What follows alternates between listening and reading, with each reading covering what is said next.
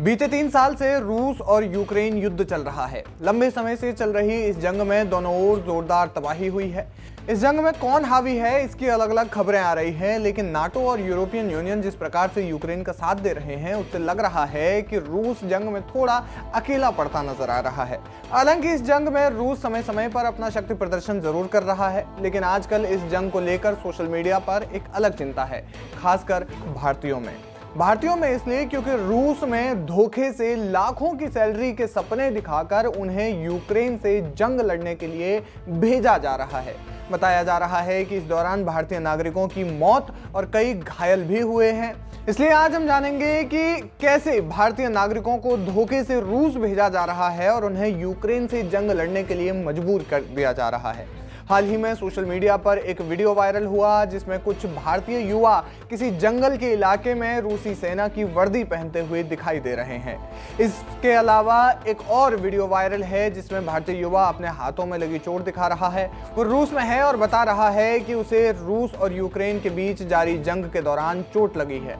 कौन है ये भारतीय और कैसे पहुँचे वहाँ? दरअसल इन भारतीय युवाओं को लाखों रुपए लेकर हेल्पर और सिक्योरिटी से जुड़ी हुई नौकरियों के लिए रूस भेजा जा रहा था।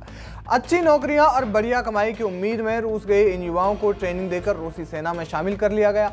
ये सभी भारत वापस लाए जाने की गुहार लगा रहे थे, लेकिन इनकी कौन सुनता? मीडिया रिपोर्ट्स की माने तो पिछले एक साल में इस प्रकार से भारत के कुछ सौ नागरिक रूस गए हैं। रूस भेजने वाले इस नेटवर्क में चार एजेंट होते हैं, जिसमें दो रूस के और दो भारत के। यूट्यूब पर ऐसे तमाम चैनल हैं जो ये दावा करते हैं कि रूस में वे लोग हेल्पर की नौकरी करके अच्छे खासे पैसे कमा सकते हैं। बीबीसी की रिपोर्ट के मुताबिक फैजल खान, जो कि बाबा व्लॉग्स नाम से एक चैनल चलाते हैं, जिसकी एक वीडियो में दावा किया गया है कि वे रूस में हेल्पर के तौर पर काम कर अच्छी कमाई की जा सकती है। इस तरह वो युवाओं को इन नौकरियों की तरफ़ आकर्षित करते हैं। नौकरी की तलाश कर रहे युवाओं को वीडियो में फ़ोन नंबर दिए गए हैं, जहाँ वो उनसे संपर्क कर सकते हैं। हालाँकि रूस गए इन लोगों का कहना कुछ और ही है। रूस में फंसे लोगों के अनुसार एजेंटों ने उनसे कहा था कि उन्हें रूस में हेल्पर और सिक्योरिटी से जुड़ी नौकरियाँ दी जाएँगी, सेना में नहीं। लेकिन सवाल यह है कि यह मामला सामने आया कैसे? दरअसल, रूस गए इन युवाओं का लंबे समय से अपने परिजनों से कोई संपर्क नहीं हो पाया और फिर अचानक से कुछ वीडियोस वायरल हो गए जिसमें वो मदद मांगते देख रहे थे। एक और वीडियो वायरल हुआ जिसमें एक शख्स कह रहा है हमें सिक्योरिटी हेल्पर के तौर पर नौकरी दी गई थी, लेकिन यहाँ रूसी सेना में शामिल कर लिया गया। रूसी अधिकारी हमें यहाँ पर फ्रंट लाइन तक ले आए।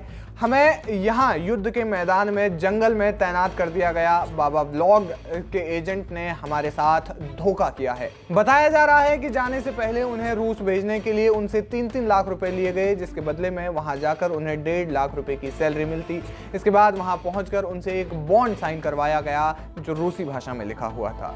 इन लोगों में उत्तर प्रदेश, हैदराबाद, तेलंगाना, नामपल्ली और जम्मू समेत तमाम राज्यों के युवा हैं, जिनका कहना है कि वहाँ फ़ोन का इस्तेमाल करने की भी मनाही है इस मामले में भारतीय विदेश मंत्रालय के प्रवक्ता रणधीर जायसवाल ने कहा, हमें ये जानकारी मिली है कि कुछ भारतीय नागरिकों ने रूसी सेना को सपोर्ट स्टाफ के तौर पर वहाँ पर नौकरी शुरू की है। इसे लेकर भारतीय दूतावास लगातार रूसी अधिकारियों के संपर्क में है। हम सभी भारतीय नागरिकों से आग्रह करते हैं कि सावधानी बरतें और इस संघर्ष से दूर रहें। विदेश मंत्रालय ने यह भी कहा हमने रूसी सेना से निकलने में मदद मांग रहे भारतीयों के बारे में मीडिया में कुछ गलत रिपोर्ट देखी हैं। मॉस्को में भारतीय दूतावास की जानकारी में आए ऐसे हर मामले को हमने रूसी अधिकारियों के सामने मजबूती से रखा है और मंत्रालय के संज्ञान में लाए गए मामलों में दिल्ली में रूसी दूतावास के सामने रखे गए हैं, जिसके चलते कई भारतीयों को पहले ही ड्यूटी से आज़ाद कर दिया गया है। हम भारतीय नागरिकों की जल्द से जल्द रिहाई के लिए रूसी अधिकारियों से बातचीत आगे बढ़ाने के लिए प्रतिबद्ध है। लेकिन सिर्फ़ भारत ही नहीं, बल्कि नेपाल के लोग भी यहाँ फंसे होने की बात सामने आई है। नेपाल के लोग भी बताया जा रहा है कि यहाँ पर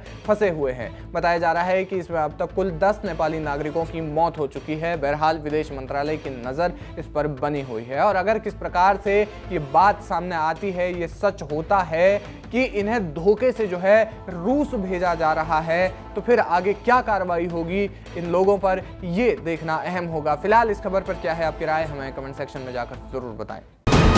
वीके न्यूज़, राष्ट्र के नाम।